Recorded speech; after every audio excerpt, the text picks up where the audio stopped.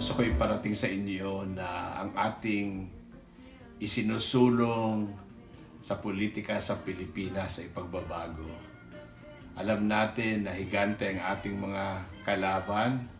Tayo'y hindi singsikat nila at hindi rin tayo singyaman nila. Subalit, ang may pagmamalaki ko po ay yung ang kagandahan ng aking puso na manilbihan sa ating bayan, lalong-lalo na sa mga mahihirap nating kababayan. Tulungan po ninyo ako, magdasal po tayo na ilabas ang aking pangalan ng COMELEC sa mga official candidates na tatakbong senador sa darating na halalan. Nagpapasalamat po ako sa inyong suporta at sana'y pagpalain tayo ng Panginoon. Maraming salamat po.